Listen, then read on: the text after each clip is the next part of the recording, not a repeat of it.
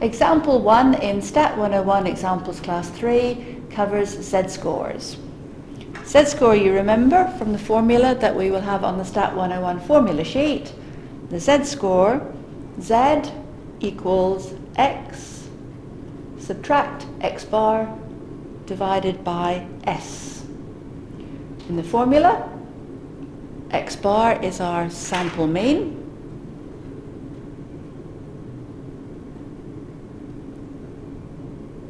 and S is our sample standard deviation.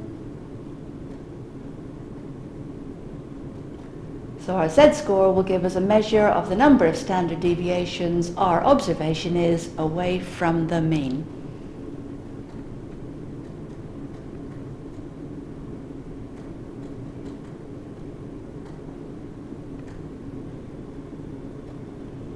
So a positive z-score will be to the right of the mean, a negative z-score will be to the left of the mean.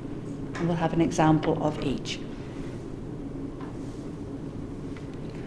In the first example, if a barrel of apples have a mean of 150 grams per apple and a standard deviation of 5 grams, what is the weight of an apple with a z-score of plus 1?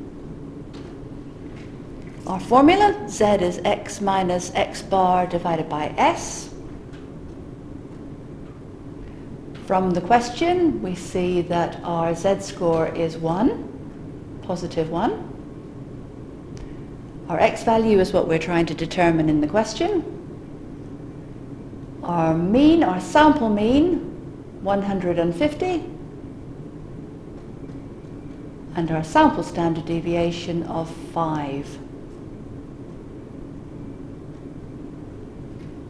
So the equation will need to be solved for x to find the weight of this particular apple with a z-score of 1. To solve the equation, first of all, multiply both sides by 5.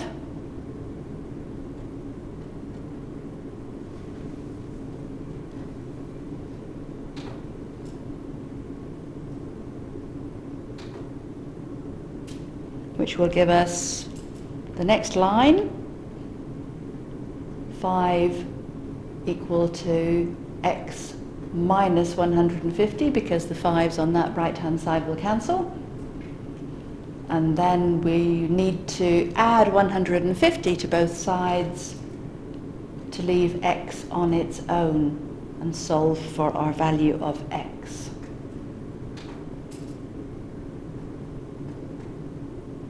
So x will be equal to 155 grams.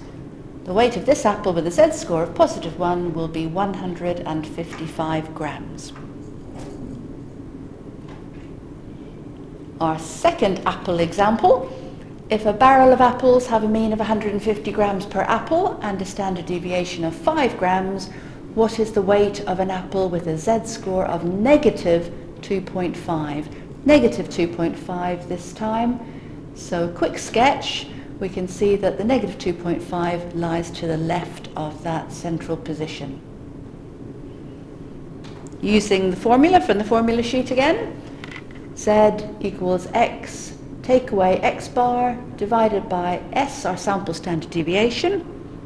Our z-score this time is negative 2.5, remembering to leave the negative sign there, equals x that we're interested in, taking away the mean x bar, which is 150, and dividing by our sample standard deviation, once again, is 5.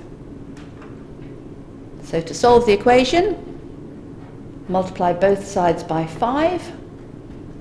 So the 5's on the right hand side will cancel. And rewriting our negative 12.5 on the left hand side equal to x minus 150 on the right hand side. To solve for x, we will need to add 150 to both sides to leave x on its own. So x will be 150, subtract the 12.5, giving a value of 137.5 grams. So the weight of this apple with a z-score of negative 2.5 is 137.5 grams. This is smaller than the mean, which is what we would expect from this type of question where we've got a negative z-score. And that is the end of example one.